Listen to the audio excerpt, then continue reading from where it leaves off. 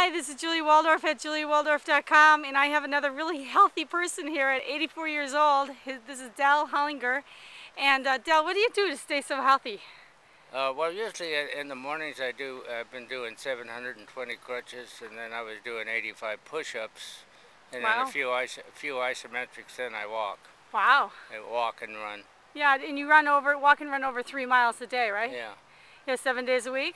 Seven days a week. Do when, any, I, when I'm home. When you're home. Yeah. yeah. Okay. Well, great, great. And do you have any aches and pains, or does it help it help the aches and pains, or what? Uh, I'm getting a few little. I get, I'm a little stiff in the morning, but I work it out on the, with the. Uh, with the early morning workout. Yeah, so there you walk. Yeah, so exercise works, doesn't it?